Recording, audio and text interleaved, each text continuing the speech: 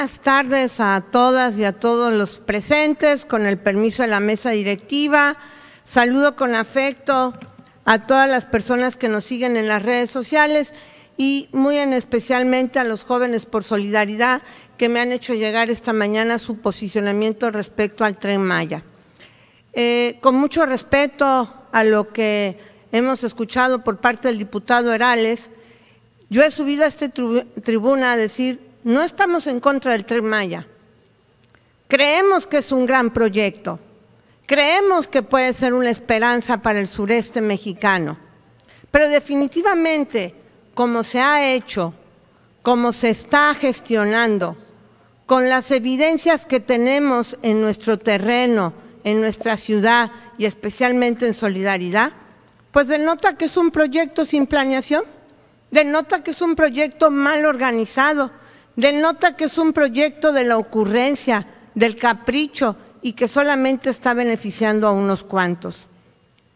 Esta tribuna es un espacio en el cual nosotros como diputados cumplimos con la función de subir las problemáticas, las causas, las necesidades, las preocupaciones de la ciudadanía. Esta, esta, tribuna y este recinto y nuestra función como legisladores tiene razón y cumple su función únicamente cuando realmente abordamos los temas que afectan a la ciudadanía, que afectan a nuestro Estado. De nueva cuenta yo subo a esta tribuna y aclaro, no estamos en contra del tren Maya, nunca se ha estado en contra del tren Maya, estamos en contra de la falta de planeación, estamos en contra de que las cosas se hagan mal.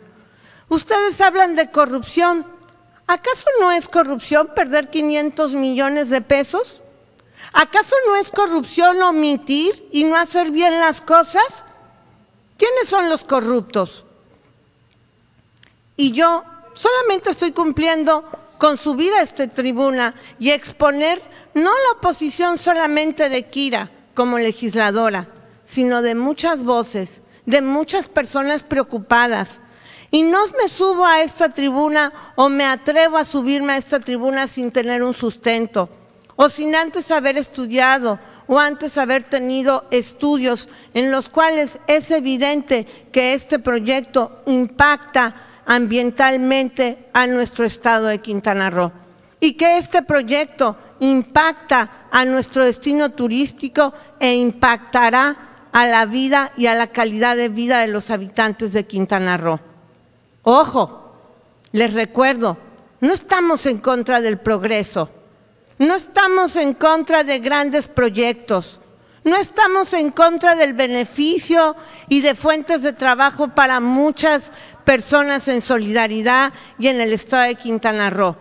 Estamos en contra del despilfarro, estamos en contra de la falta de planeación y muy personalmente y a nombre de muchas de las personas que represento en este momento, estamos en contra de la devastación que está sufriendo nuestro Estado.